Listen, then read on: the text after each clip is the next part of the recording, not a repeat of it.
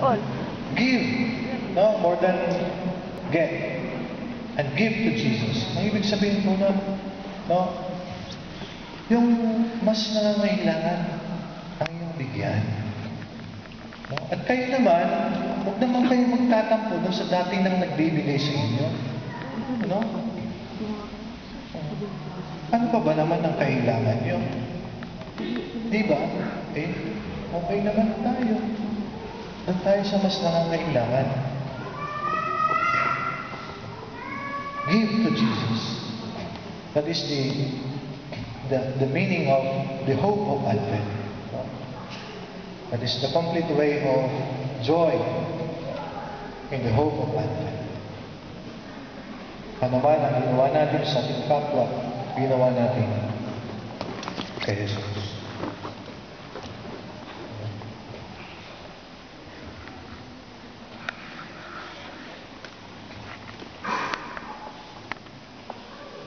O kung mayroon man kayong kapamilya na mas nangangailangan, bigyan niyo. Doon kayo tumulong, bigay, at hindi lang ngayong Pasko. Di ba tuwa-tuwa tayong kumanta ng ano? At magbuhat kayo, kahit hindi Pasko ay magbigaya. But we sing it without minding it. Walang spirito.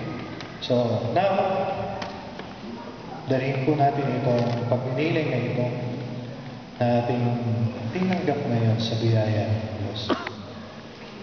Bilang pagbubuod no, sa ating simula, simula kanina, ay aanyayahan ko kayo na magdasal. Tumayo tayo lahat.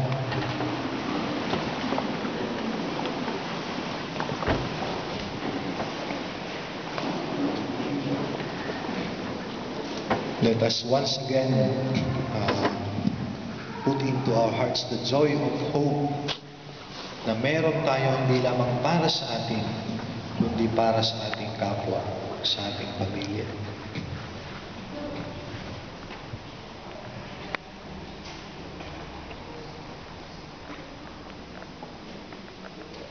Panginoong Jesus, Ikaw po ang nagbigay ng pag-asa,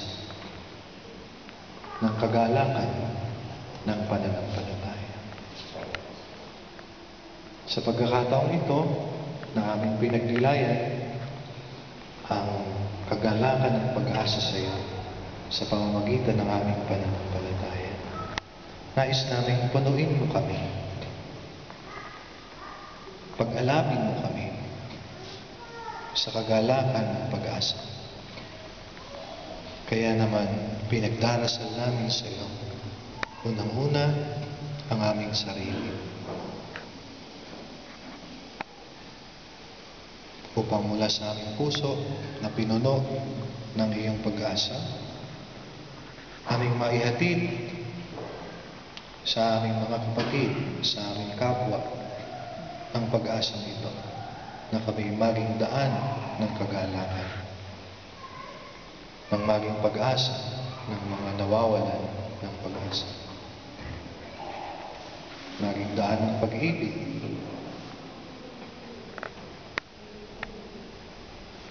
Tinataas din namin sa iyo, Panginoon, ang mga may malalaking suliranin.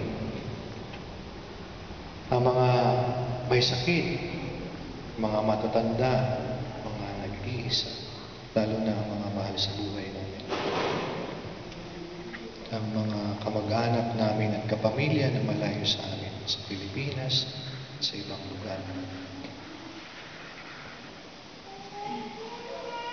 Panginoon, maraming salamat sa pagkakataong ito. Pinagkakatiwala namin sa iyo ng buong pag-asa. Ang lahat ng aming panalangin, ang lahat ng aming hinahangat, nawa ang lahat ng ito'y maganap ayon sa iyong kalooban. Luwalhati sa Ama at sa Anak at sa Espiritu Santo. Kapara ng mga ngayon, kailangan at gusto ng mga Santa Maria, Panalangin mo kami. sa ngalan ng Ama, Anak, ng Espiritu Santo, Amen. eh, maasa pa kayo. Umupo na po kayo. Father Noel, sa ngalan po ng aming pura paroko, si Don Enrico Crisostomo ng MCSD Sisters, tsaka po ng aming sambayan ng San Tomaso. Hindi lang po okay na okay, kundi ayos na ayos. Maraming maraming salamat po.